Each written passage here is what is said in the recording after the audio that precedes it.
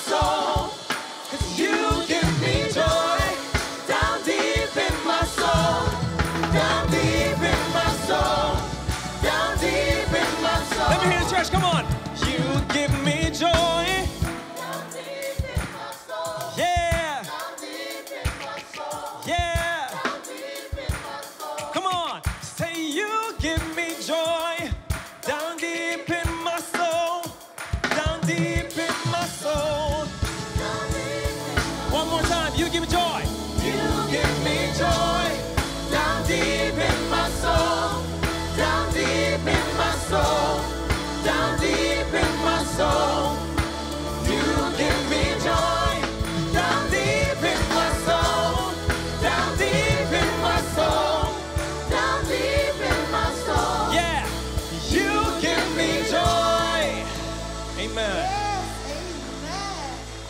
Our Heavenly Father, He gives me joy down deep in my soul.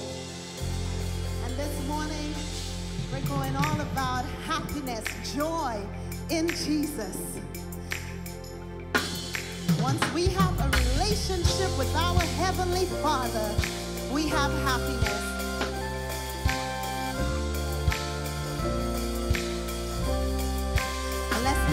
voices and sing this song with joy.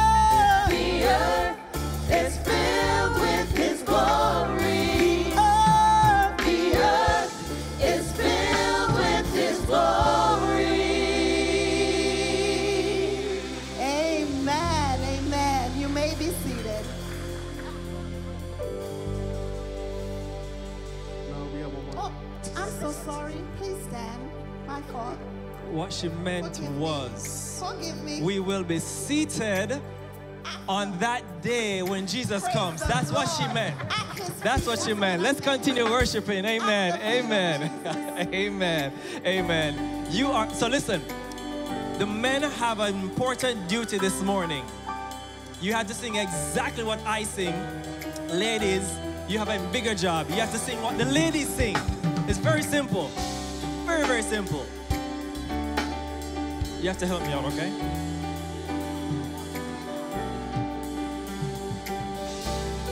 says, You are holy, you are mighty, you are holy, you are holy, you are mighty.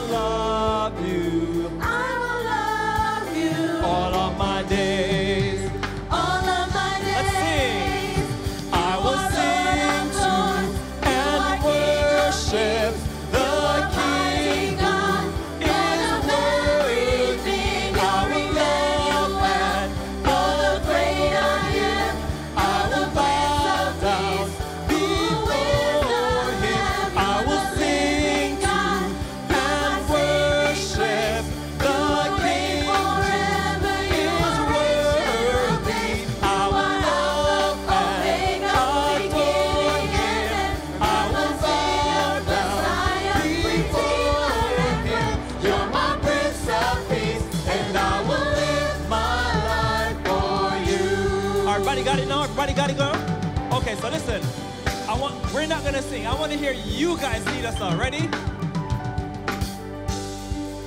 Ready? One, two, three. Yes.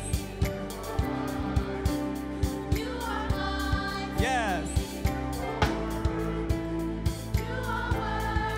Worthy of praise. You're leading us up. Come on, let me hear you say.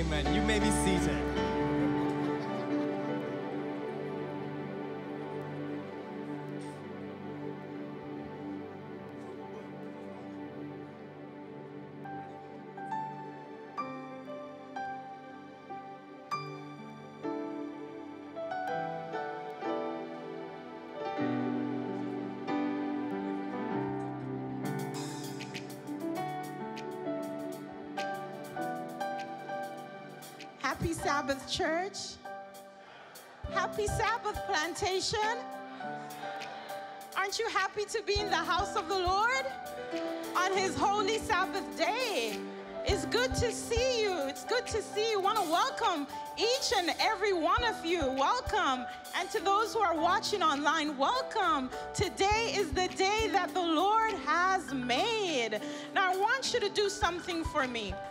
One of the things I discovered when I started worshiping here at Plantation is that Plantation is a church full of love. So I want you to tell the person next to you, God loves you and I love you too. Hey, God loves you and I love you too. God loves you and I love you too. All right, wonderful, wonderful. Now,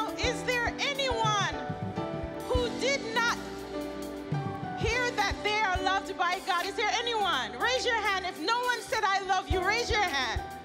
Oh, plantation, you guys are amazing. Give yourself a round of applause. Praise the Lord. You guys are amazing, wonderful. So everyone is loved. Brother Joe? Brother Joe? Brother Joe? Come here. God loves you and I love you too.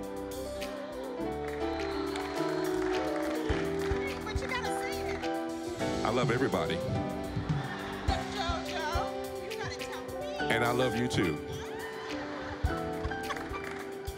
Amen. We have some special announcements for you, and we're going to wait till it comes up. So today is Connection Sabbath, which means that all of us, we are going to connect after church. We're going to have lunch, we're going to fellowship, and we're going to get to know each other in a new and personal way. After Connection Sabbath, we want you to know when it's Connection Sabbath, it's a time for you to dress down, and it's okay. You can wear your jeans, you can be comfortable in the house of the Lord. So don't go home. Stay with us and enjoy us for Connection Sabbath. This Sabbath, Pastor Kevin is going to be sharing the word with us. And so far this morning, he did an amazing job. Let's keep him in. Let's keep him in our prayers as we continue to worship the Lord together. Can I get the next announcement? Children's Sabbath. Now, children's ministry, they're going to be having uh, church on September 14th in their regular Sabbath school class. It's going to be after children's story. So we're asking that you register, pre-register, so that your children can be a part of this well-planned program that's going to be such a blessing to them. September 14th, so please ensure that you register online. It's for ages 5 to 12, so make sure your children are part of this well planned service where they're going to be able to have many different activities and fellowship together. Now, Bold Justice, they're going to be having their house meeting, living out God's uh, requirement to do justice, and this is September 14th at 2 p.m. and September 28th at 2 p.m. right here at the Plantation Seventh day Adventist Church. For more information about Bold Justice, please contact Addie Loben and the number is on the screen. Unity Sabbath, join us as we celebrate our youth. Our youth will be coming together for a special worship. They're going to be meeting at 9 a.m. and 11:30 for lunch and youth workshops. Pathfinder, and much, much more. Please join us. Our speaker for Youth Sabbath is Jeremiah Josiah Seymour. Josiah Seymour. Let's pray for him. He's just 16 years old, and he's going to be preaching for both services. So let's lift him up in prayer as our church enjoys Youth Unity Sabbath, September 21st. Ah, the we're going to be having a special day on September 28th. This is uh, the Hope Ministry. They will be having a program entitled United Together. to bless the forgotten. So, this is a program, and we're inviting each and every one of you. Our guest speaker for that day is Pastor Ron Smith, and you can see the lineup there first service, second service, and they're going to end the evening with a concert at 6 p.m. So, please ensure that you are a part of this program. United together to bless the forgotten. Put it on your calendar. Be with us as we celebrate and join hands to bless the forgotten. We have a big event coming up October 5th, October 6th, October 7th, October 9th, and October 12th. This is Jesus at the center of our future. This is our evangelistic series for 2024. Our speaker is Pastor Gervin Marsh, and you can see our start times. It will be in the nights as well, beginning at 6 p.m., 7 p.m., with refreshments, and our program begins at 7.30 in the night. And this is Sunday night, Wednesday night, and Friday night. And of course, we'll be meeting here on regular Sabbaths. It's going to be amazing. There are a lot of planning that is taking place, and uh, a lot is being prepared for you. We're going to have gifts and surprises, and we're going to have baptism. I know some of you don't like to drive in the night. But if you don't like to drive in the night, partner with someone, travel with someone, be here, bring a friend, bring a, neighbor, bring a family uh, relative so that they can hear the word of God, give their lives to the Lord, and expand the kingdom of God. And so these are our announcements. Our last announcements is our women's retreat, Elevate 2024 Women's Ministry Retreat. I was told by Elder Dion that we have about 10 rooms left or 10 women, 10 women. So we are filled up, but we have space for t- 10 women. Now, you might not be able to come, but you can sponsor someone else to come. And the Plantation Seventh Adventist Church, we believe in our women, we believe in our children, we believe in our youth, and the church has dedicated funding towards the success of this program. And so we want our women to come to this retreat October 11th to October 13th. It's going to be spectacular. We want you to meet us in the foyer. Elder Dion, sign up if you haven't. The last date for payment is September 23 please, we need for you to give us your funds so that this program can be uh, completed and executed successfully. International Day, International Day is coming up. International Day is Saturday, October 19th. And in this day, we're going to be able to celebrate our different cultures, the different countries that we're from. And so we want you to come out and be a part of this program Saturday, October 19th. And we're going to be celebrating the first service, second service right here at Plantation SDA. So please put this on your calendar. International Day, one of the biggest days that we come together and celebrate our uniqueness, our differences, and our different cultures. I want you to have a blessed day today. Be blessed, be nourished in the presence of the Lord. Let's pray. Heavenly Father, Lord, we thank you. We had quite a bit of announcements. We thank you, God, that this is an active church. This is an alive church. This is a church that is engaged in so many ministries and activities that bring your name glory and honor. Father, please be with us as we worship you now, O Lord, as we stand in your presence as we bow down before you. Lord, we pray for a fresh anointing, a fresh outpouring of your Holy Spirit, God.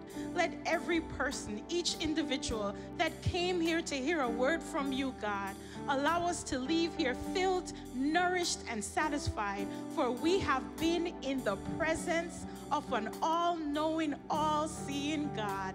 Thank you for hearing our prayers, for we pray in no other name other than that of your Son. In Jesus' name we pray. Let the church say, Amen.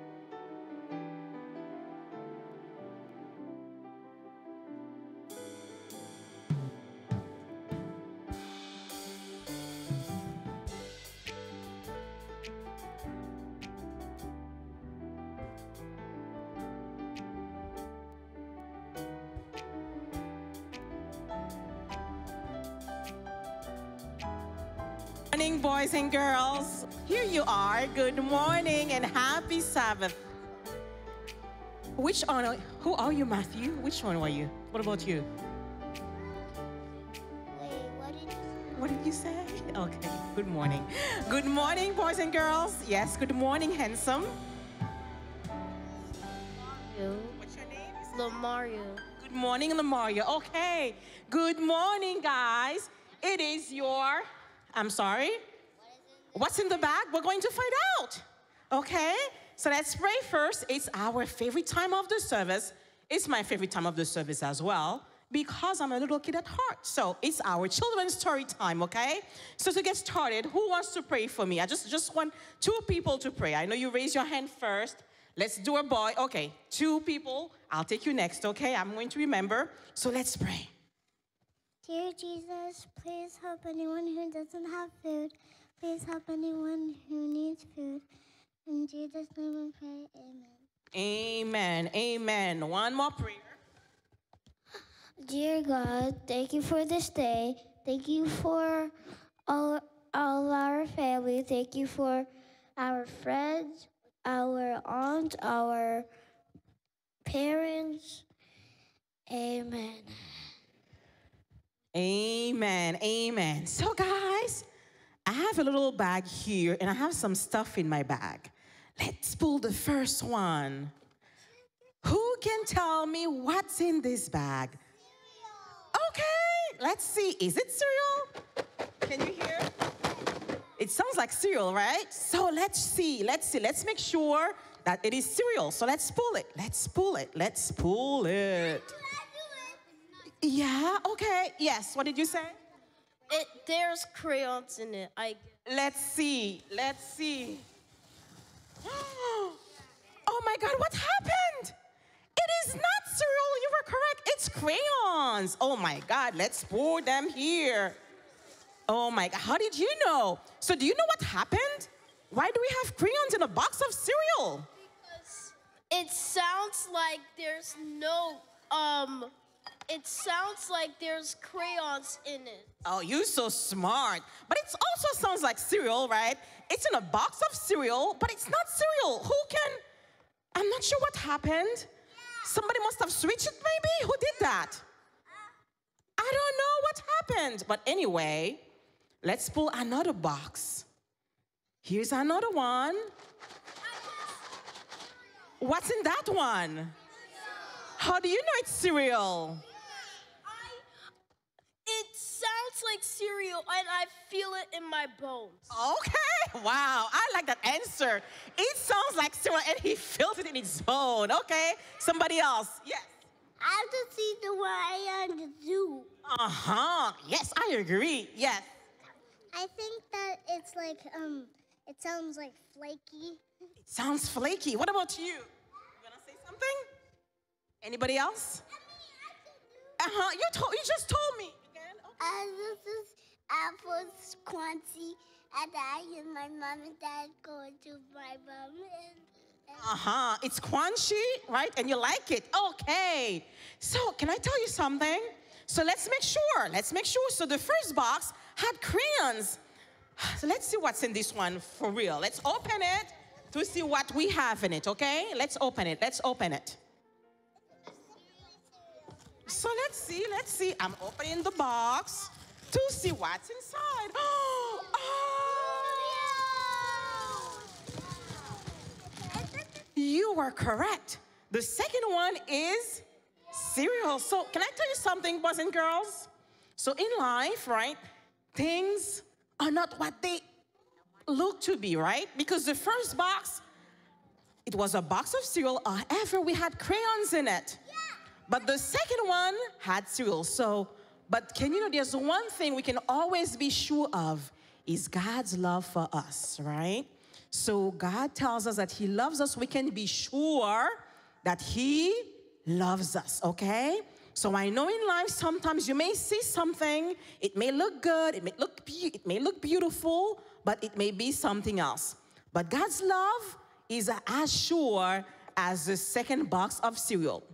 And the Bible tells us in Hebrews 11, verse 1, who can read for me? Who can read for me? Okay. I'm going to have you read for me. Hebrews 11, verse 1. Just one moment. Go. The first verse. Right here. Now faith is confidence in what we hope for and asser- Keep going. Where are you? asser- Now, faith is confidence in what we hope for and assurance about what we do not see. So, when we, who has ever seen God? Do you guys, have you ever seen God? Okay, where?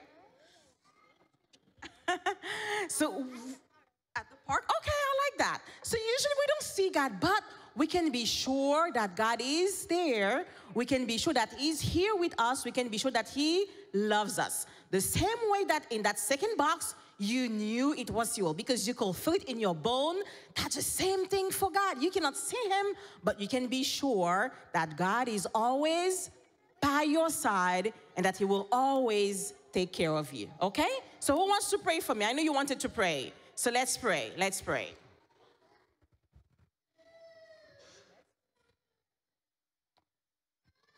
Thank you, Lord. Please guide us. Send, send your Holy Spirit so we can know what is true and what is not true. Surround us with your with your angels and protect us and keep us safe. And your name is powerful and you are powerful, Lord. And we know that you are the true God and you're the only God. Let let everything we do be by your will and not ours. And thank you, God. In Jesus' name, pray.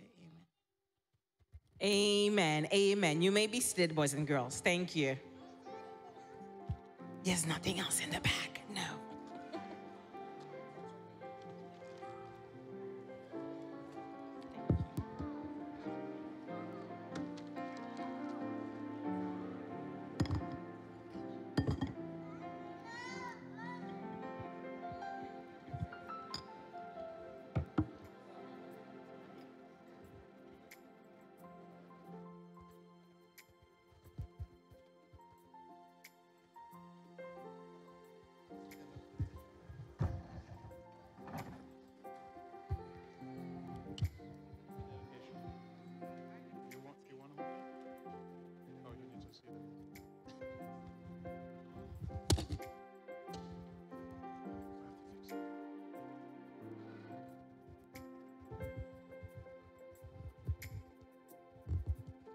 Have a baby to be blessed today. Gonna ask the parents, Marceline, Esther Vern, and Dwayne Esther Vern to come forward. The name of the baby is Zamina Emerald Esterveen. Please come. And if there are family members that are here to support this special service, we're going to ask you to come forward and join us right up here.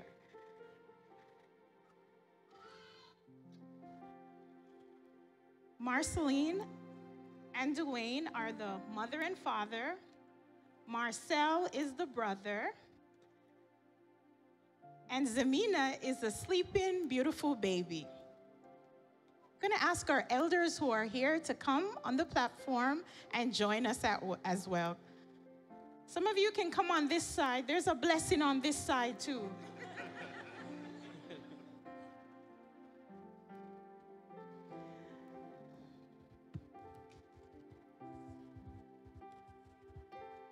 Zamina is eight months old.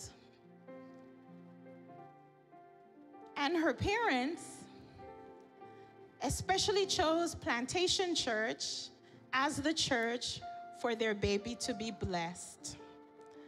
Jeremiah 1, verse 5 says, Before I formed you in the womb, I knew you. Before you were born, I consecrated you. One translation says, I set you apart. Now, I want you to know, Dwayne, a Marceline, that she's very special to God. It is God's extravagant love that He has for her. And because He loves her so much, that He knitted her together while she was in your womb.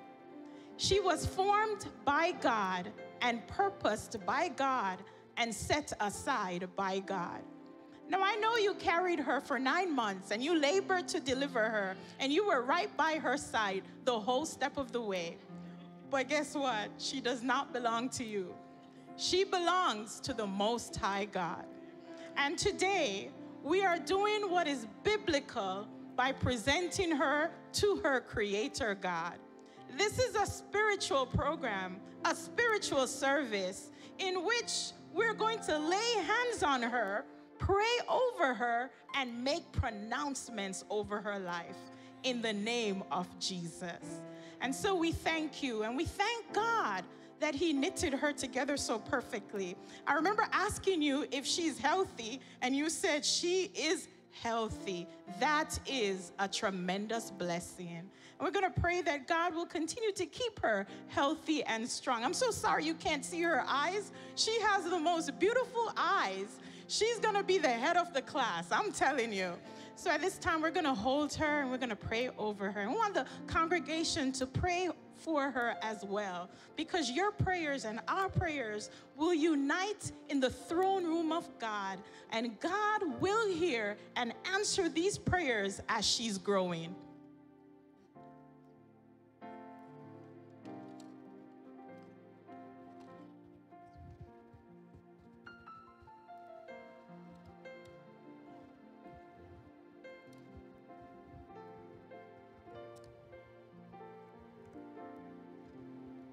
I'm a professional. Let us pray. Heavenly Father, we thank you that you're a God who recognizes your children. They're so important to you, God, that you have allowed us to have this dedication service for them. We're so thankful for the leadership of our senior pastor. His mindset is that whenever they come, that we should receive them as Jesus received them. And that we should lay hands on them and bless them in the name of the Lord. Because Jesus says that we have to become like one of these to enter into his kingdom. Lord, we thank you for what you have done for this family, God. When I asked her mom, Marceline, what the pregnancy was like, she said it was an easy pregnancy and a smooth delivery. God, you have been so instrumental in her development and in her birth. And so, God, we invoke your presence in her life. And we pray, God, that as she grows, that she will be filled with the Holy Spirit that you will pour out your spirit in every fiber of her body, that you will keep her healthy and whole, that you will be with her, God, as she sleeps at night, that you will touch her mind, that as she grows, she will grow with wisdom, knowledge, and understanding. We pray, oh God, that you prepare a school and teachers for her that are going to be instrumental in teaching her not only the things of this world, but will teach her that there is a God in heaven who loves her tremendously. We pray for the parents and for the family members that are here. We're so thankful there's a community because it takes a village to raise a child. We are so thankful that she's not alone. She has aunties and cousins and uncles and, and, and, and, and grandparents and people who love her. Father, as she grows, watch over her, put a mark on her, declare her today that she belongs to you, oh God. We pray, God, that you'll protect her and watch over her and keep her safe and sound. And we pray, God, that you'll be with her father, that you will help Duane to be the spiritual head of the home, that she will, he will teach her how to pray, that he will teach her how to read the word and how to have faith, that she will grow to be a mighty champion for you, God. We thank you, Father, for hearing this prayer. And we thank you for the members in the congregation and the elders and the leaders that are praying over this child. And we pray, God, that as she grows, you will answer these prayers and she'll meet every milestone and she will come back even in your house to give you praise. And we pray, God, that when she comes of age, that she will accept you as her personal Savior from sin. For we pray this prayer in the righteous and holy name of your Son. In Jesus' name we pray. Amen.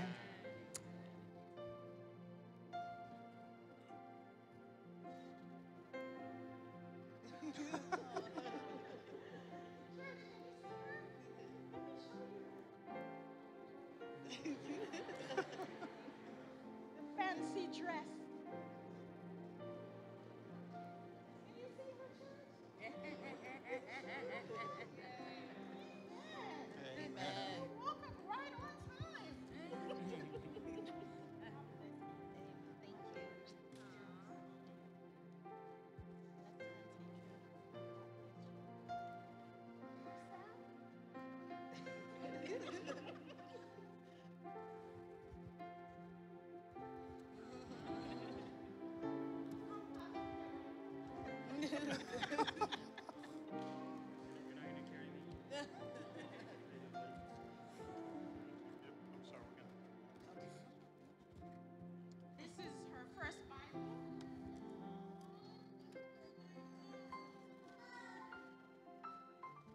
Want you to read it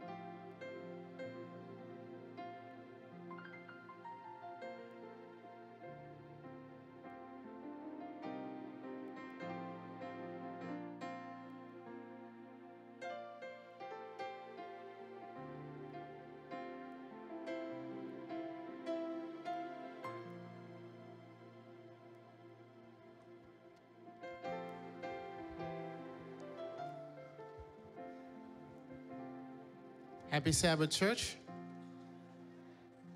Happy Sabbath, church. Oh, thank you.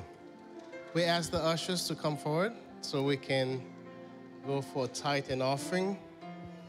And the screen will show the different avenues that you can give your fuel offerings and tithe.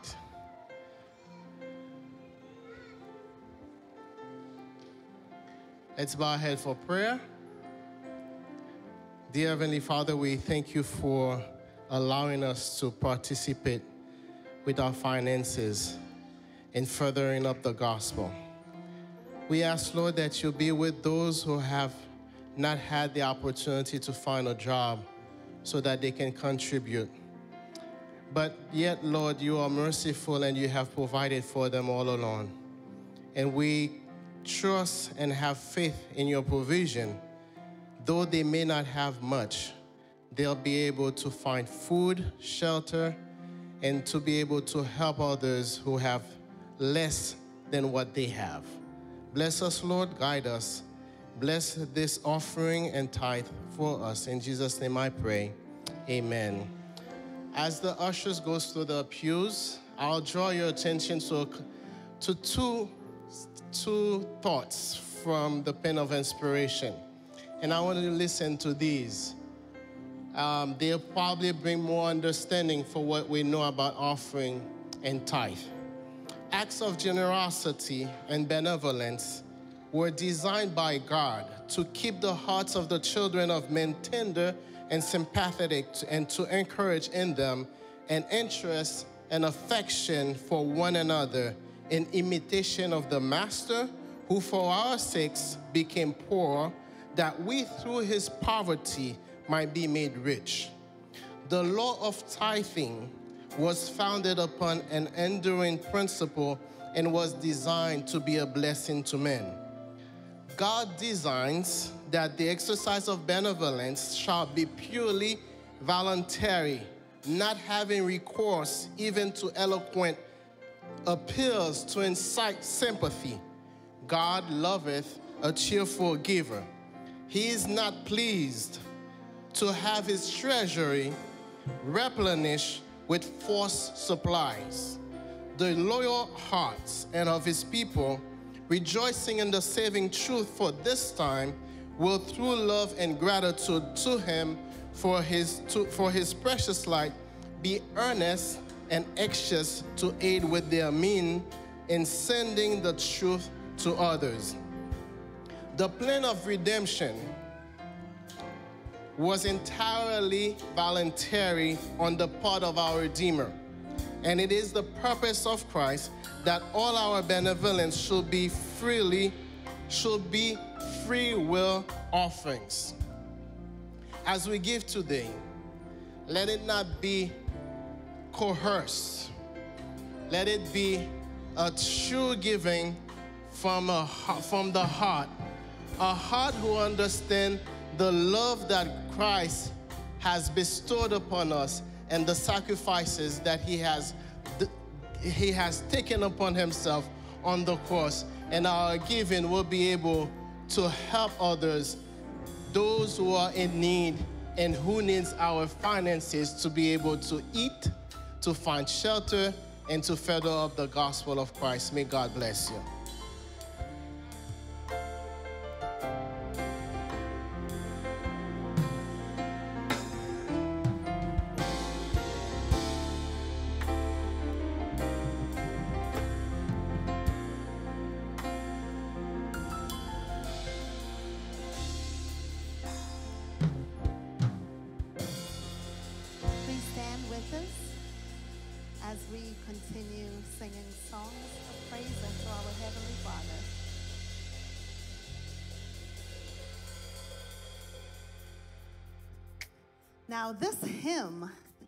Y'all should know by now, I love my hymns.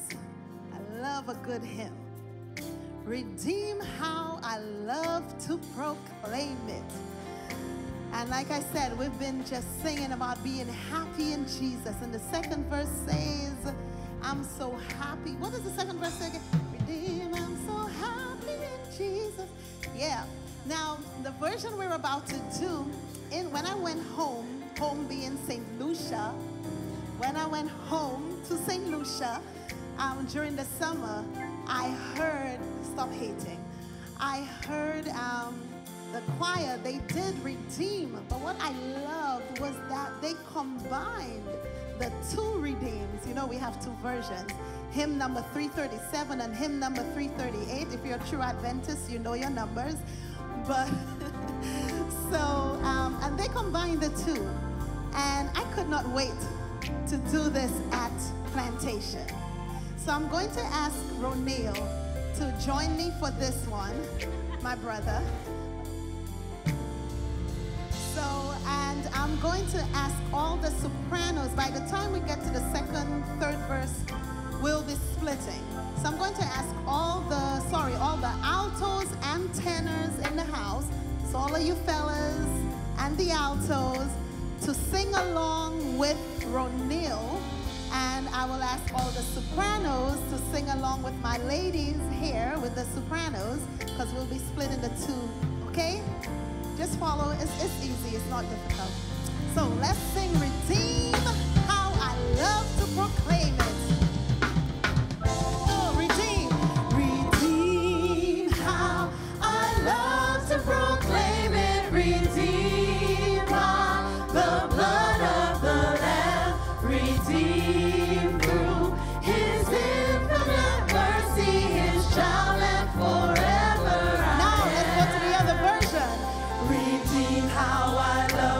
Proclaim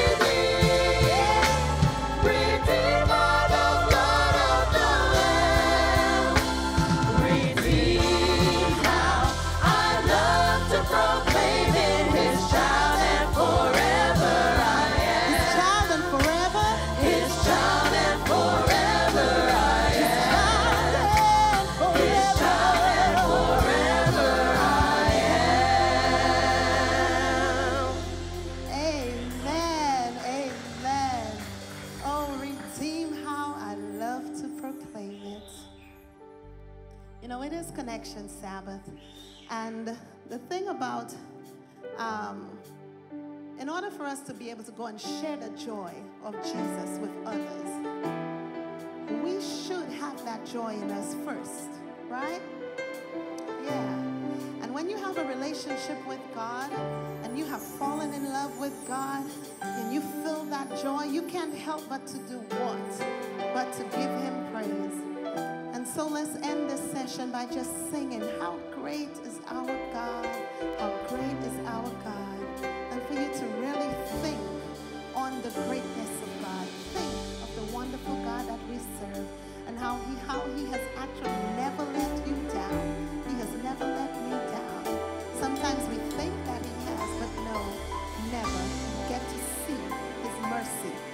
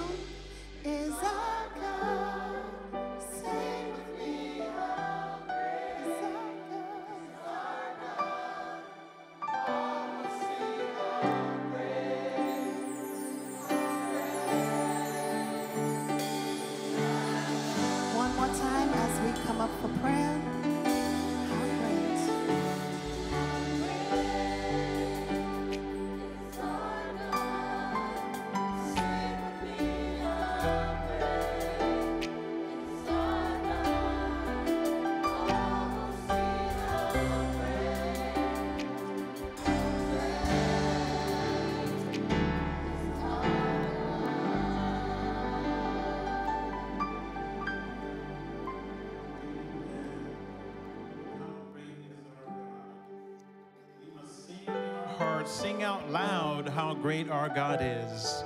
You are here because God is great. Your marriage is intact because God is great. Your finances are intact because God is great. Your children are healthy because God is great. You have a church family to come to worship with because God is great. I want to just read these two short verses for you in John 10, verse 10. The thief does not come except to steal and kill and destroy. I have come that they may have life and that they may have it more abundantly. But this is my favorite part. I am the good shepherd. The good shepherd gives his life for his sheep. I don't know what kind of week you had, but I can guarantee you the good shepherd who laid down his life for you has been all up in your week. It may not have been the way you may have wanted it, but I can guarantee you the good shepherd is looking out for you. No matter what is going on in our lives, we must keep in mind that that good shepherd who already gave his life for us, that he's still working, still looking out for you, still searching for you, going after you because he gave his life for you. Elder Barbara yesterday on the prayer line reminded us that there are moments that we need to just sit still five minutes in silence and hear the Lord speak. But not just hear the Lord speak, but be reminded of the goodness of God in your life, the things that He has done for you. You will not be able to take stock when you're running around, when we're busy, trying to pay bills, trying to deal with our children, trying to work. But when we stop and sit still, we will see the goodness of God. We will see how His blessings are flowing through our lives, no matter what is going on. And now, if you have in this moment a praise report, you don't want to ask the Lord for anything, you just want to praise Him. You can come to the front and do so. If you have a prayer on your mind, on your heart, you didn't have time to write it on the card, come to the front.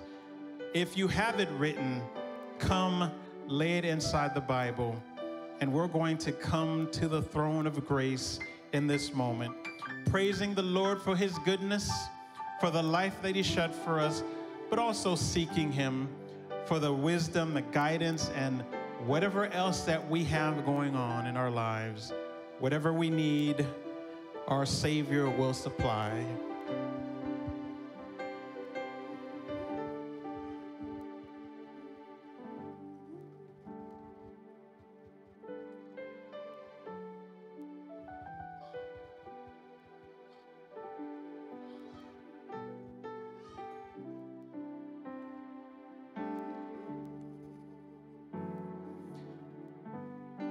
Abba, Father,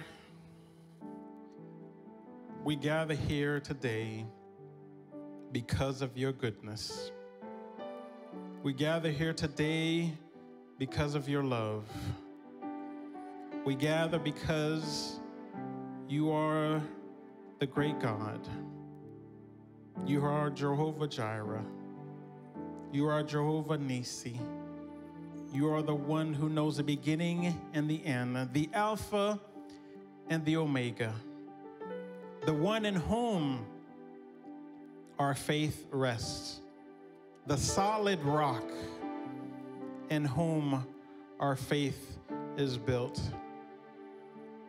And so today we give you honor and praise. We give you glory. We give you all the accolades that we can possibly give as your created creatures. We give you all that we can give you, Lord, because you have given us everything. You gave us your breath. You gave us your son. You gave us all that we have, you have provided for us. And Lord, for all that you've done for us, there are times we've been ungrateful. Forgive us, Lord. Forgive us of our trespasses that we've committed against you and against our fellow man. Wash us, Lord. Cleanse us of all unrighteousness. Redeem us back to you. Lord, today we are grateful for our families. We're grateful for our church. We're grateful for our marriages and our children. We're grateful for the home that you provide to us. We are grateful, Heavenly Father, for meeting all of our needs. Lord, with the blessings that you've given to us, may we turn around and give it back. May we be good stewards, Lord, of the blessings you've bestowed upon us. And today there are those who are mourning. There are those who are crying out to you, Heavenly Father, for one reason or another. Right now, I want to pray for those who are mourning the loss of loved ones, including this community in Georgia who dealt with this tragedy this week.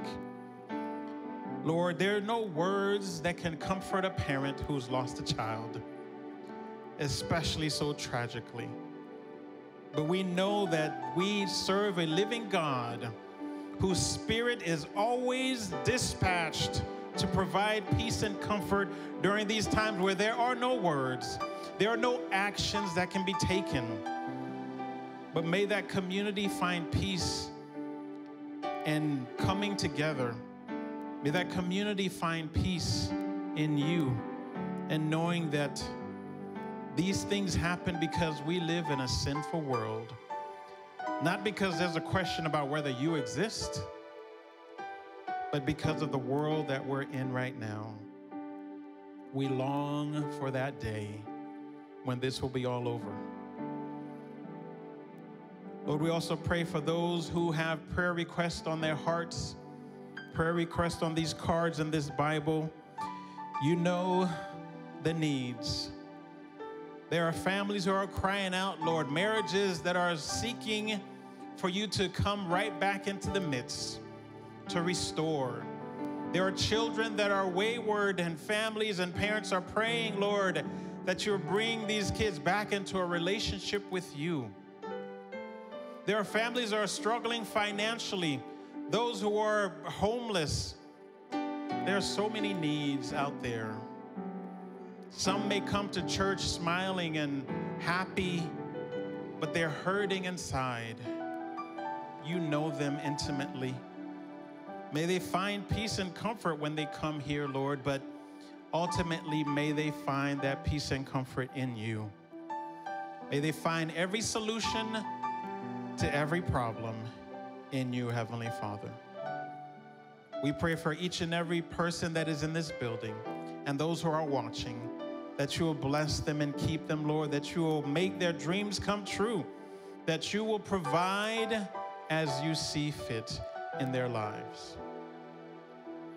Finally, Lord, as we pray for your good shepherd who comes up to deliver the word, you used him powerfully in the first service, and without a doubt, you will do it again. May he continue to submit to your spirit. May you hide him behind your cross, anoint his lips, his actions, his body, and everything that he does and says, Lord, will be straight from you. Bless us during these rest of these moments, Lord, as we worship and praise you. Thank you for the blessings that you have already in store for us. In Jesus' precious name I pray. Amen.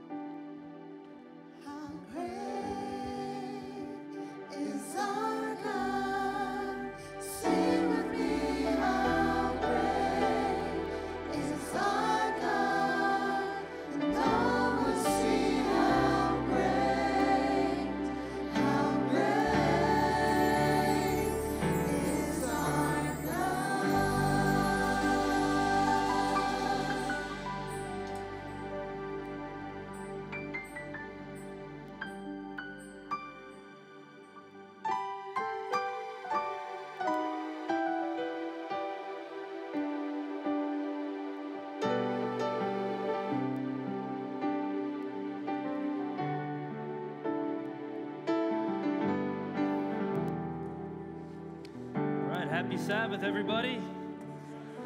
It's good to be back. It is good to be back. yeah. All righty. Um, before we hop into the sermon, I, uh, I did it first service, so I want to do it here again. Uh, some of you may know that I was dealing with the sickness or the illness of my father and eventually his passing, but I just wanted to say up here, now that I have the time, uh, just on behalf of my family, uh, enormous thank you because you guys really pulled through for us. We were never short on calls or food or prayer or anything. I mean, you guys took care of us, and, and we really appreciate that. So, on behalf of my family, I just want to say thank you. And, uh, and we just, we're, we're so grateful that we're part of this family. So, just wanted to start off with that. But it is now time to get into the Word of God. So, before we do, have a quick prayer with me, and we'll get the party started. Dear God, thank you so much because I get the chance to be here again. And I ask you that you hide me behind your Holy Spirit, that you speak your word to these good people and everyone that is listening online, might listen online, whatever it is, Lord. I ask that you work on their heart, that you tear down any barrier that might be around their heart, that you open their ears so that they can listen to what you have to say and apply it, Lord. In Jesus' name we pray. Amen. Okay, then. So, my, my, all my life, I have struggled with something that has been a little bit of a thorn in my side. And it's that I do not really enjoy the sports that everybody else seems to enjoy. And that, that really sucks because when you, yeah, because when you, when you go to college and you want to be a part of a team, especially in Adventist college, you get soccer, basketball, volleyball, and all the other sports, all the team sports, whatever. That's not me. I enjoy martial arts. That's what I like to do. I don't mess with Pastor Kevin. No, no, no. I'm messing around. But, uh, that, that's what I like to do, and I've practiced it. I love it. I like combat sports.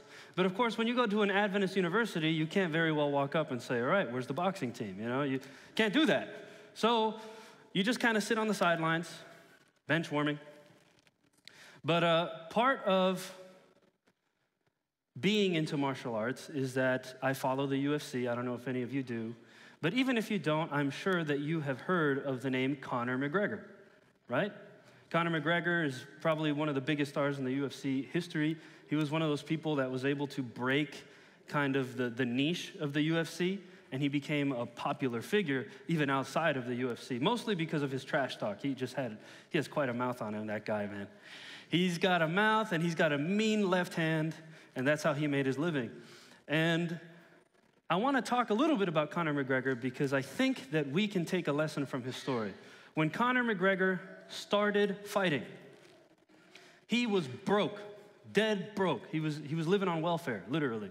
Living on welfare in Ireland. He had nothing, not a penny to his name. And out of desperation, he decides, all right, you know, I'm going to start fighting, like many fighters do.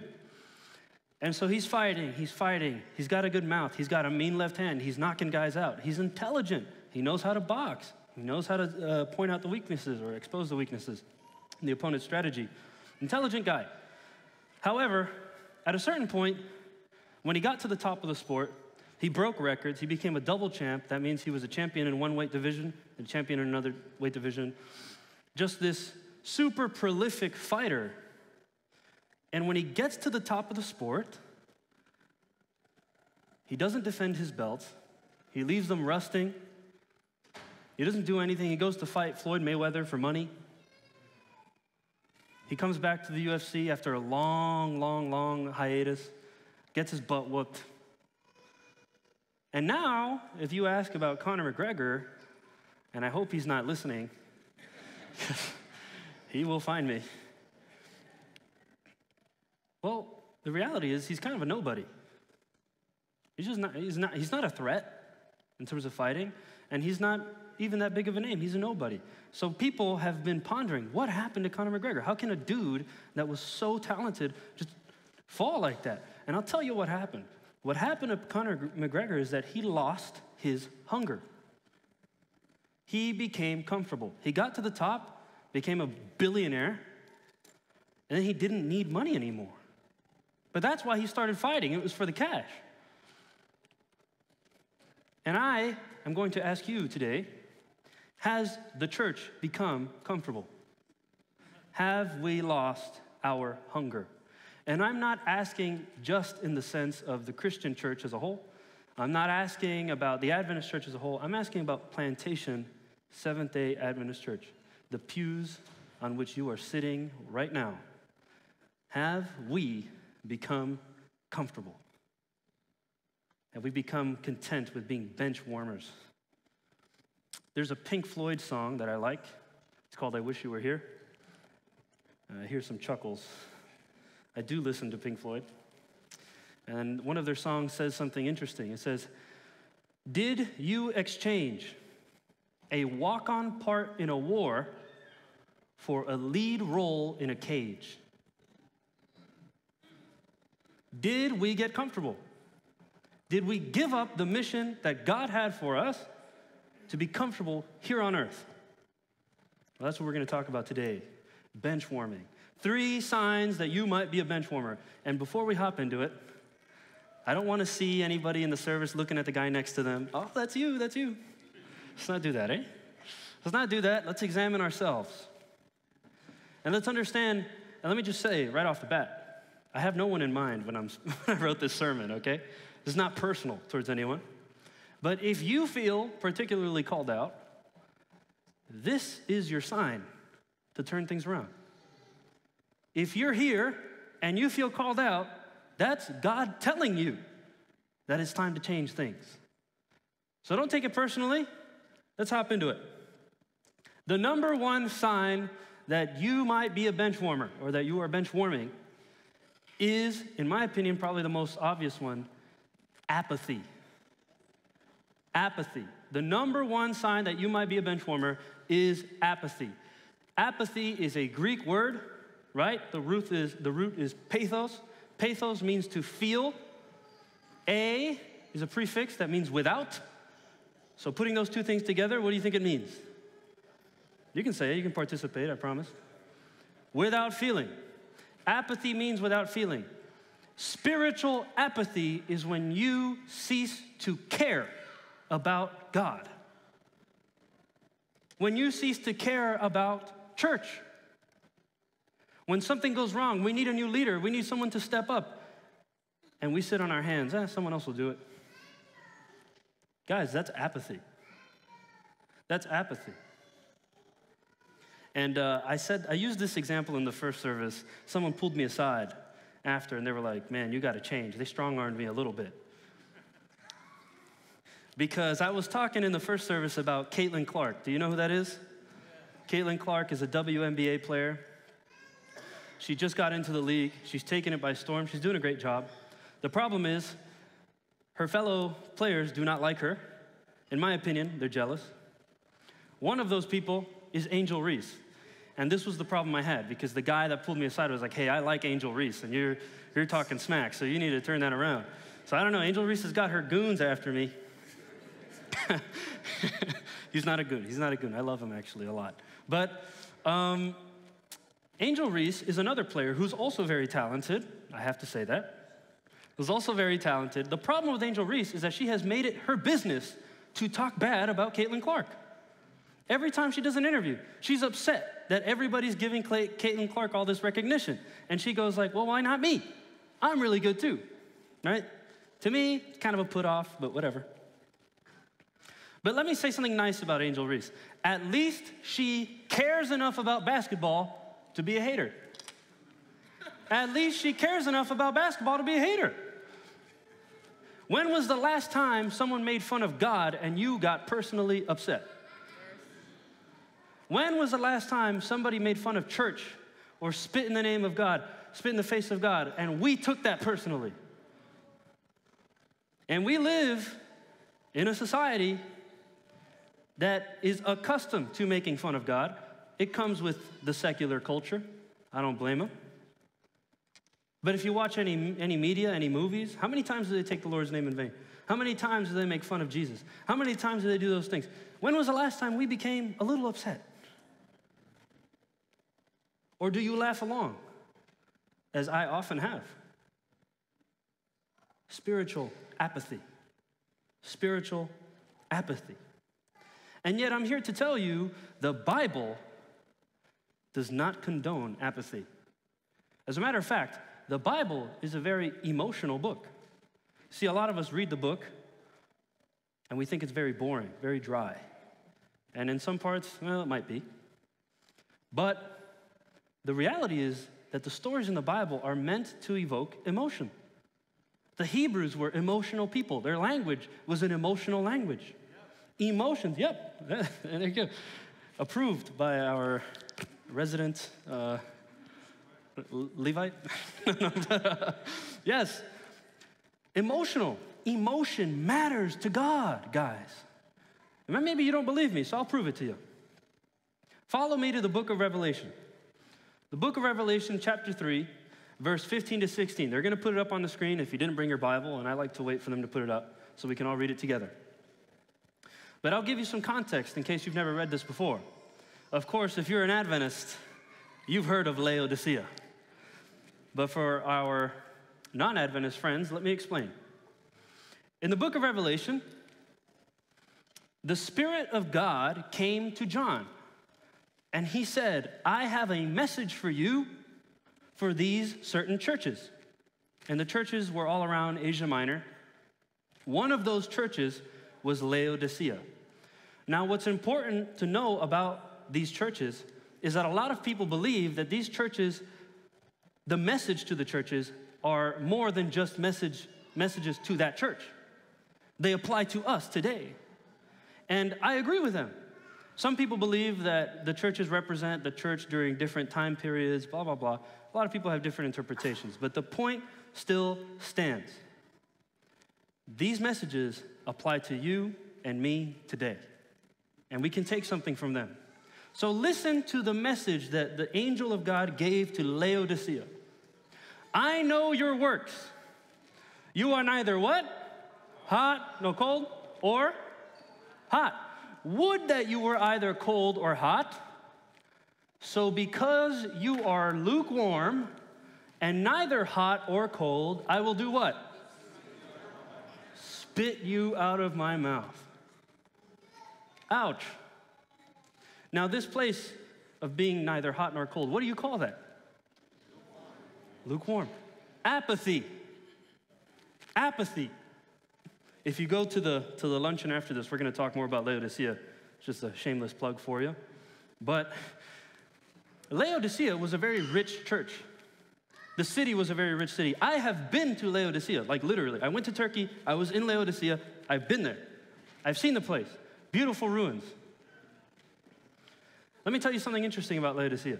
Laodicea, geographically, is under a hot spring.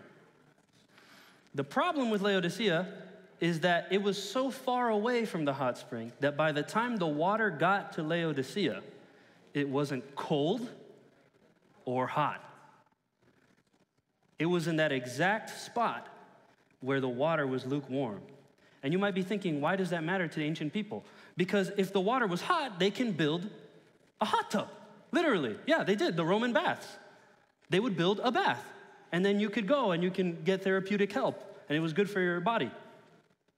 And if it was cold, you could at least be refreshed and you can drink it. But instead, Laodicea had this disgusting, brackish water that you can't really drink, you can't really bathe in it, it is useless. So when the Spirit of God tells the people of Laodicea, you are lukewarm, they know what he's talking about. And let me tell you, you might not be Laodicean, but you know what I'm talking about too.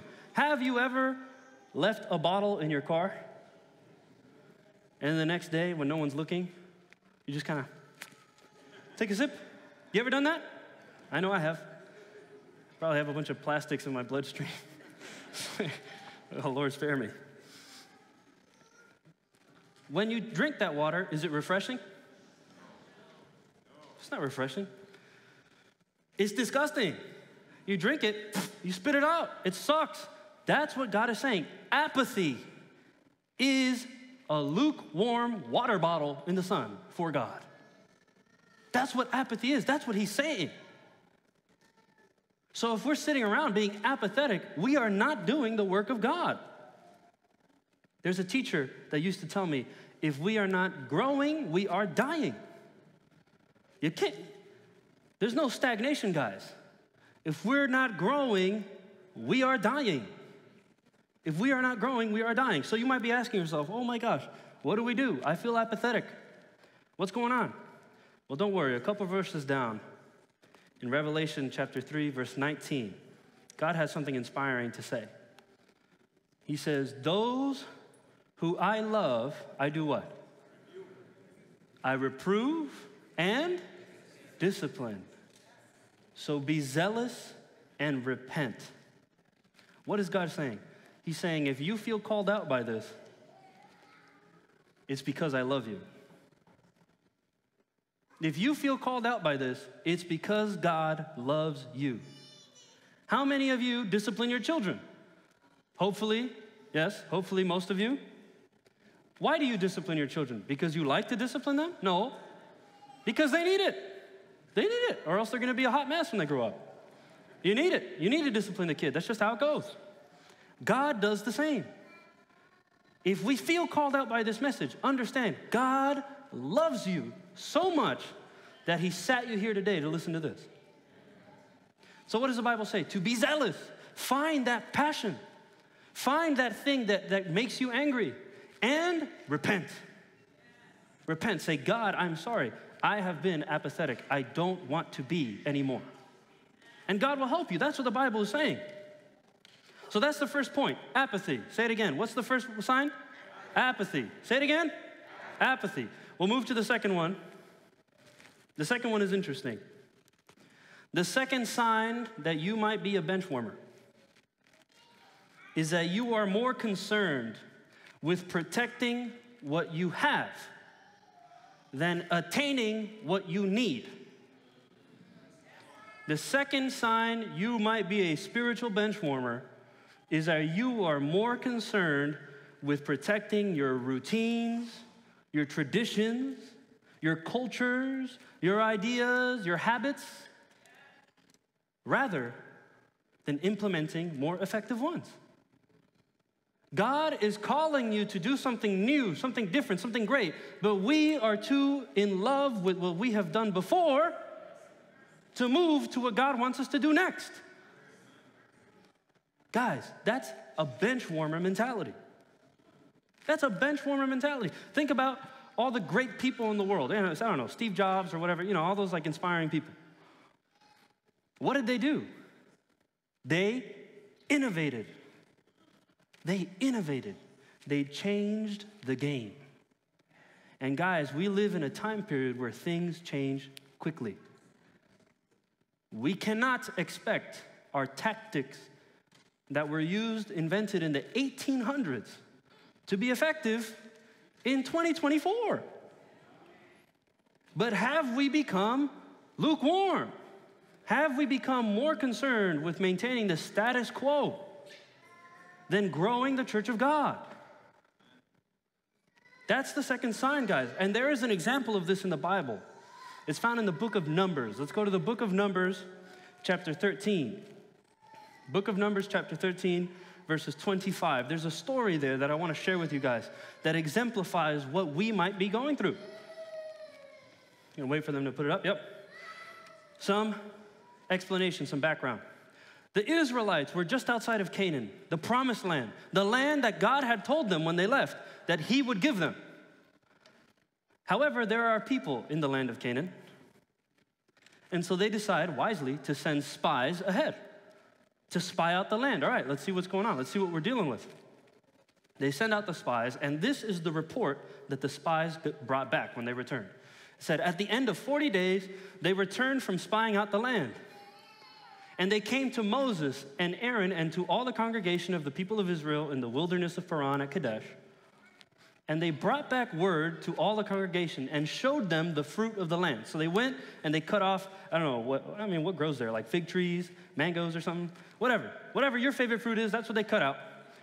And they said, We came to the land which you sent us to, and it flows with milk and honey. And this is its fruit. So that's good news. Awesome. However, nobody likes the however. However, the people who dwell in the land are what? Strong. And the cities are fortified and very large. And besides, we saw the descendants of Anak there. Uh oh. The Amalekites, they dwell in the land of Negev. The Hittites, the Jebusites, the Amorites, they dwell in the hill country. And the Canaanites, they dwell by the sea and along the Jordan. And if you don't know who all those people are, don't worry about it. All you need to know is that they were very violent nations that lived in Canaan. They were warmongering nations, and they were not easy people to deal with. But Caleb, he quieted the people before Moses, and he said this Let us go up when? At once and occupy it, for we are all able to overcome it. And then the men who had gone up with him, they said this We're not able to go up against the people, for they are stronger than we are. And you know what I see in this? I see that young person who walks up to the elder and says, Oh, I want to start a YouTube channel. And the old person looks at them and says, Eh, we did that before, it doesn't work. That's what I see in that. So, well, we tried. We tried to feed the homeless, but nobody cares. Oh, well, you know, son, nah, I know you're young, naive. You don't see, you don't know how these things are. You know, let the elders take care of it. You go sit over there, we'll go do nothing over here. That's what I see. How many of you have experienced that? I experienced that. I experienced that. I've been through that before. Maybe you feel the same way. Guys, that is apathy. No, Pastor Kevin, we can't do that. Because, you know, if we invite those people into our church, they might influence our kids negatively. No, no, no, we need our Adventist schools to only have Adventist kids. No. Because if, if, if imagine if we bring the inner city kids in, have you heard that before? It's a little too real, isn't it? But guys, when did we become so concerned with protecting ourselves as if God would not protect us? We act as if this church only runs because of us. Guys, Plantation Church exists because of God. If you work in the church, it is your privilege to work in the church. It's not because they need you. if I wasn't here and they kicked me out and moved me, another would take my place. That's fine. That's good. This is the way that God has chosen to work. We do not need to be concerned about the safety of Christianity. God will keep himself safe. We have to take risks. We have to go out and meet the people where they are. We have to think every day and every night, man, how do I reach those people? And if it doesn't work, you try something different. And if that doesn't work, you try another thing. And over and over and over, eventually it will work. But we cannot quit. We cannot come up with these excuses. We can't afford to do these things. There is a passage in Ezekiel, in the book of Ezekiel, that I love. Every time I read it, it makes me, you know, fiery. It's the book of Ezekiel, chapter 3. The book of Ezekiel, chapter 3, verses 7 through 9. This is God speaking to Ezekiel, and he says this But the house of Israel will not be willing to listen to you, for they are not willing to listen to me, because all the house of Israel have a hard forehead and a stubborn heart. In Spanish, you know, that's a, that's a phrase, cabeza dura. Cabeza dura, hard head, hard headed. And guys, I just want to put you in Ezekiel's position. Imagine if right now you received a vision from God, angel came down literally and said, You are my prophet. But here's the disclaimer nobody's going to listen to you. Imagine that. Imagine if God came down and said, I'm going to speak through you, I'm going to give you my word directly for the people, and they will not listen to you. Nope. You might be tempted to ask, why are you making me speak then? what, what, what am I speaking for then? Guys, if we want to, you know, modern Christians, we make excuses, right? We say, oh, well, it's just so hard nowadays. You know, with social media, we can't compete. Have you ever heard that? Kids just want to play video games and be on their phone. Guys, the audience that we're dealing with today is not tougher than the audience that Ezekiel had to deal with. Because back then they would have stoned them. Nobody's stoning you. not, in America, at least. Oh, I hope not. Guys, if the kids want to play video games, make a Christian video game. Make a Christian social media channel. I don't know, but meet the people where they are at. The audience today is not tougher than the Israelites. It's not. And even if they were, this is what God says to Ezekiel Behold, I have made your face as hard as their faces, and your forehead as hard as their foreheads. Like emery harder than flint, I have made your forehead. Fear them what? Fear them not, nor be dismayed at their looks, for they are a rebellious house. God is saying, hey, even if no one listens to you, I will empower you. I will empower you. This is not a job that we do alone. This is a job that we do with God. He will empower us. It's about Him. But still, we're so concerned with all the filth around us, we don't look up to the horizon. We just don't. There's a story that I'm going to tell. Steve Dalton, he told me this story, and I'm going to relay it to you because it's a good story, and I think it applies to this. There's a lady, an old lady, she's in church, one of the faithful few. And she's looking around and she notices all these kids on their phones. And she sees the young adults talking. And she sees the girl with the short dress and yada, yada, yada. Well, she does what any good saint would do and she complains to the pastor. And so she runs to the pastor Pastor, this last Sabbath, I saw this kid on his phone, this kid on his phone, this. She gives him the list. The pastor says, All right, all right. Pastor, being a man much wiser than me, by the way, he says, Listen, we're going to hold off on this. Next week, I'm going to have a little task for you. And if you do that, then we'll talk. He says, All right, whatever. Next week comes along. And when he sees her, he gives her a glass of water filled to the very brim. He says, You need to keep this with you the whole service, and you can't spill a drop, or else we're not going to talk.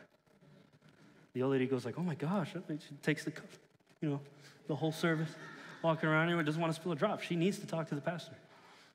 You know, she's there the whole service. She gets up, she goes, "Pastor, here," and he says, "Thank you." Did you see anybody on their phone today?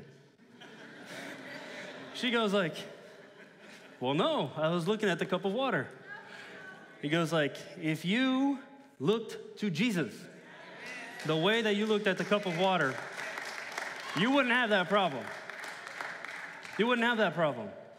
Guys, it's easy to point out flaws. Anybody can do it. Hey, you're not a genius because you look out, you point out the flaws. Anybody can do it. What we need is solutions. What God needs is Christians that are going to take up arms, man, not physical arms. Just disclaimer, okay? You never know nowadays, but People that are going to work for Christ. People that have their eyes focused on Christ. Man, who cares about whatever they're wearing or whatever they're doing? What matters is winning souls. That's what matters. That's our job. And now we're going to get to our last point. A bench warming Christian is a selfish Christian, a self centered Christian a Christian whose spirituality revolves around them. And you have seen these people before, I'm sure you have. I mean, I've been guilty of it too. You walk into a new church, oh, it's dirty. This is dirty. You go, you flip through the hymnal, oh, there's mold in it, disgusting. The lady goes up to sing, she's off, she's off key, terrible. The preacher gets up there, I've heard that before.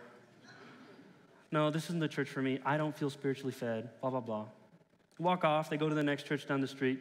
No, they like it for a week or two, then it wears off. And they're like, oh, wait, but the preacher, blah, blah, blah, blah, blah. And they revolve and they revolve and they revolve. And they never sit anywhere. They never commit to any church. They never commit anything. Why? Because for them, it's not about the church, it's about how they feel. And we chase the spiritual high every time. You go to a conference, you hear someone sing, and you go like, wow, that's beautiful. And then the next week, you want that same experience and the same experience. You're trying to keep yourself fed. We use religion as a drug. We become like Jonah, who tries to gatekeep God. And I don't blame people because society has trained us to consume, not to produce, not anymore at least. But guys, Jesus says the only one that's going to make it is the vine that produces. When you feel that spiritual high, the next thing you have to think is how do I share this with other people? That's the thought. That's the winning mindset. It's not how do I repeat this? How do I get another one of this? It's how do I share that with people? If I felt God speaking to me, how do I use that to do the same for others? That is what it means to be a Christian. And we have to ask ourselves are we here right now? And are we bench warming? Are we bench warming? Yeah, preacher, good sermon. Fine, now share it with your friend. We cannot live our lives trying to feed ourselves. You see, there's something interesting about Christianity. In philosophy, it's called positive morality. Positive morality. Positive morality means that your morals are based more on what you do than what you don't do. On what you do than what you do not do. What do I mean by that?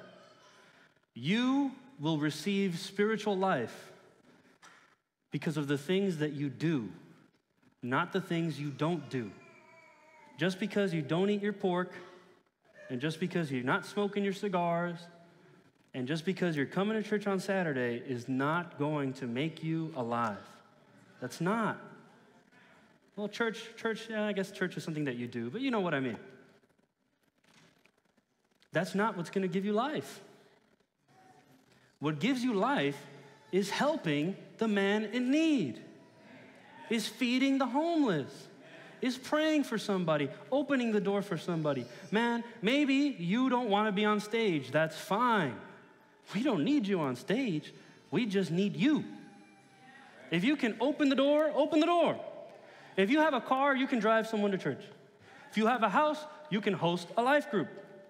If you have a job and you have good amount of money, you can donate to the poor.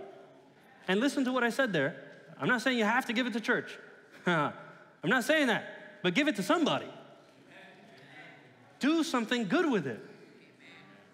The Lord has given each and every one of us gifts, and He expects us to use it. Guys, the world needs Ezekiel's, not Jonah's. Don't be a Jonah. That guy's a clown. The whole the whole chapter is, is laughing at Jonah. It's a comedy, really. No, seriously. Like when you read it in Hebrew, it's a comedic book. It's meant to make you laugh. Don't be like Jonah. Be like an Ezekiel. If you feel empowered, go and share it with others. And finally, the last verse for today, wrapping up, I think that it kind of points to what we're talking about. It's 1 Corinthians chapter 12, verses 21 to 26. We have read this verse a million times.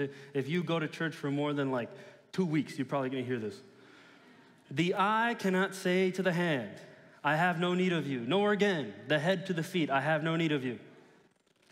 On the contrary, the parts of the body that seem to be weaker are indispensable, like the eye. It's a weak, but you need it. On the contrary, the parts in the, oh, sorry. yeah, we can move on. And on those parts of the body that we think less honorable, we bestow greater honor. Is that not true? The more sensitive parts of your body, don't you cover them up? And our unpresentable parts are treated with greater modesty.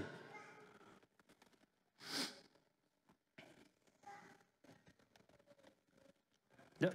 Uh, which our more presentable parts do not require. But God has so composed the body, giving greater honor to the part that lacked it, that there may be no division in the body, but that the members may have the same care for one another. And this is the nice part of the verse. I love this part.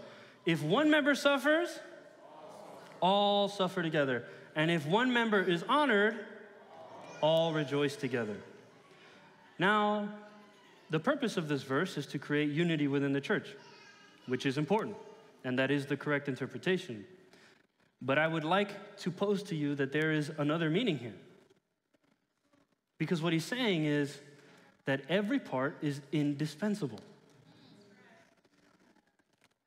Guys, if you're sitting in the pew right now, you're part of the body of Christ. If you accepted Jesus in baptism, you are part of the body of Christ. So, what does that mean? That means you are indispensable. You are indispensable. And this is not the sort of scenario where we're going to leave it to the big guys. That's not what Christianity is about. You see the people upstage and you say, okay, they're doing a good enough job. I'm going to go home. It's not what it's about. Because when God calls you to serve Him, it's not just for the people, it's for you too. We grow when we serve God. And if you're feeling in a place right now where you feel like, man, you know, I feel kind of like I'm stagnating, I'm, I'm plateauing, I don't know, maybe it's because you need to serve. Because when you serve and you see the joy in someone's eyes, when you give them that right, that, uh, just that perfect prayer, or when you give that sandwich to the homeless man, you see him go like, wow, nobody's even looked at me in three years. Then you will know God. Then you will understand the love of God. You want to experience God. How many of us sit on our knees and we pray, God, show yourself to me, show yourself to me? But he shows himself to you every day. Every day he shows himself to you. But how many times have we missed out on a blessing because we've just been too selfish to see it? The Lord, and I'm saying this to every single one of you here, the Lord has a plan for you. And if you're listening online, the Lord has a plan for you. In your respective church, wherever you are, whatever context you are, you have something in your life that you are passionate about. You have something that you care about. You have a talent that you could use. And I'm telling you now, God is saying, you've got to use it. Don't be a bench warmers. A championship team cannot be comprised of bench warmers. We're not going to get anywhere if we keep bench warming. And we can have the singers come on up if they'd like while they share a song. And I want us while they sing to meditate on what it is God is calling you to do. Plantation, I'm telling you, okay, I'm one of the pastors, I can say this. We want you. We want you. We're looking for leaders. We're looking for people to step up. I am so serious about that. If you talk to me after the service, I promise you by next week you're in a ministry. I, I promise you. I promise you by next week you're in a ministry. We have plenty of space. There are no excuses, guys. We have plenty of space. And as they sing their song, just go ahead and meditate on where you fit. And if you have any questions, feel free to talk to me, any of the elders outside, or any of the greeters, and we will connect you to the right people, yeah?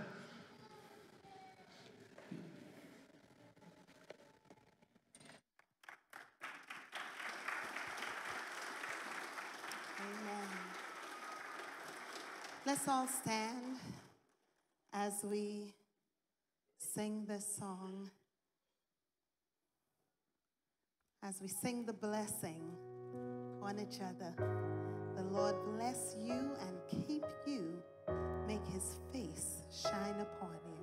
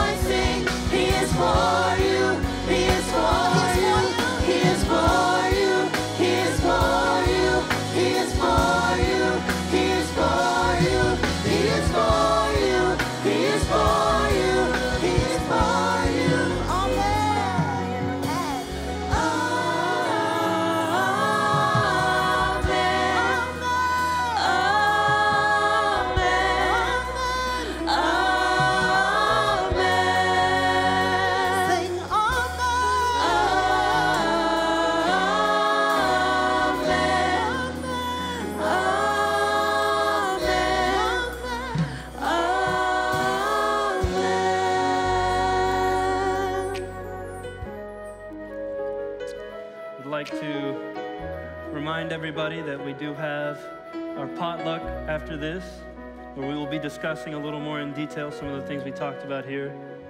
But whatever you do, God bless all of you. Let's have a final word of prayer. Dear God, thank you so much for the privilege of being able to serve alongside these wonderful people here at Plantation. And I ask you, God, that you use this moment to really strike a chord with everyone's hearts, Lord. Even the people that are online, wherever they might be. Lord, you have a purpose for every single one of them. They, they have talents, they have things that they can do to further your goal, your mission, your, your, your love. And I ask you, God, to flood them with ideas, flood them with passion, create in them this great fire, this unquenchable thirst for sharing your love. In Jesus' name I pray. Amen.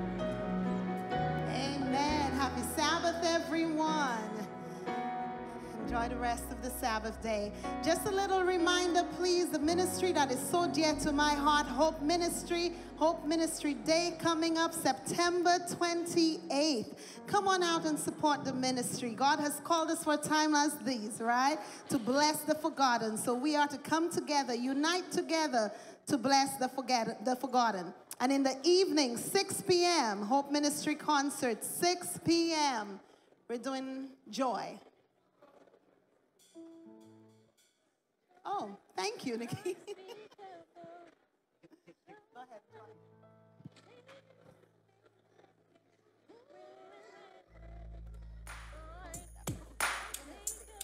If you want to hang back and sing along with us, you're welcome to do so. Sing on your wig, Ghana.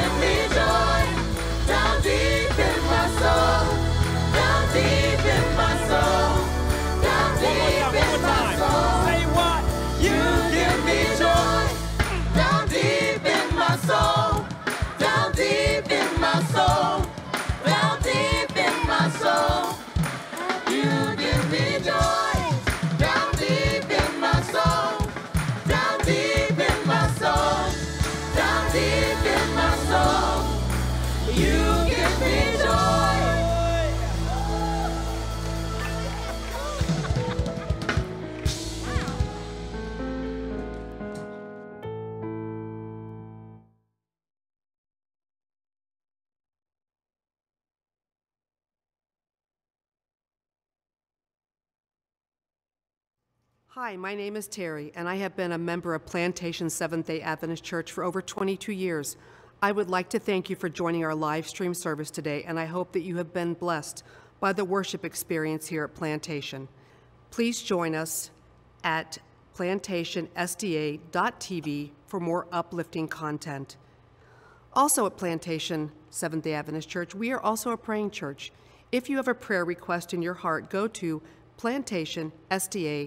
plantationsda.org and let us know what your prayer request is. We look forward to seeing you in Plantation, Florida the next time you're in the area. Please come and join us for a worship service.